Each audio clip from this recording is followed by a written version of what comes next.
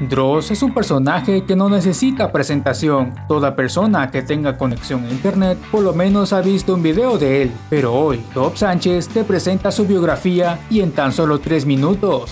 Veamos qué tanto sabe sobre él.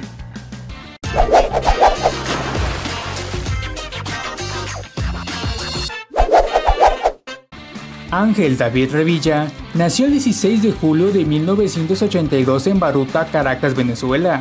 Con ascendencia italiana y española, Dross inicialmente se describió a sí mismo como un ateo, pero luego se declaró un ateo agnóstico. Estudió periodismo y comunicación en la Universidad Santa María, egresando en 2007 con la licenciatura en comunicación de masas. La historia de Dross comenzó cuando era escritor, blogger, periodista y crítico de videojuegos para varios sitios de internet como Vandal y Medistation. Después de participar en varios debates sobre las consolas de videojuegos, fue expulsado de estas comunidades. En ese momento nació su personaje, el Troll. Dross aprovechó esta oportunidad para abrir en 2006 su propio sitio web y su canal de YouTube, donde combinó el humor negro con elementos machistas y fascistas todo expresado con la voz de su personaje. Dross también abordó temas controvertidos, como la existencia de Dios y el debate sobre los derechos reproductivos. Adoptó el apodo de Dross en honor a Darren Drozdov, un ex luchador de la WWE,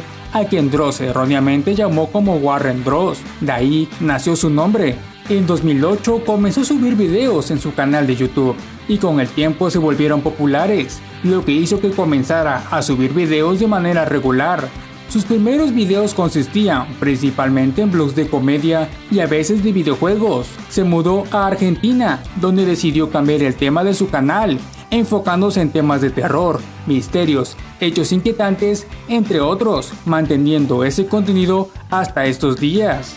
Dross ha escrito algunos libros. Su primera novela, Luna de Plutón, fue publicada en España y América Latina en 2015, convirtiéndose en un éxito en ventas en pocas semanas. Su segundo libro, El Festival de la Blasfemia, fue lanzado en 2016 y una secuela de su primer libro, Luna de Plutón 2, La Guerra de Isaac, en marzo del 2017, además de El Valle de la Calma, que se publicó en 2018. El 1 de agosto del 2019, Dross lanzó su trabajo más reciente, El Libro Negro, explorando temas de la Deep Web y el horror cósmico, viajando por América Latina para encabezar grandes eventos y aparecer en firmas de libros. En 2018, su trabajo como creador de contenido digital e influencer de las redes sociales, fue reconocido con el prestigioso premio Martín Fierro Digital Awards. Desde entonces se ha hecho un hueco en los corazones de sus seguidores en el género de terror, asustando a millones con sus videos y libros. Dross tiene una popularidad considerable en América Latina, aunque su atractivo se está extendiendo a las audiencias de habla hispana en los Estados Unidos y Europa.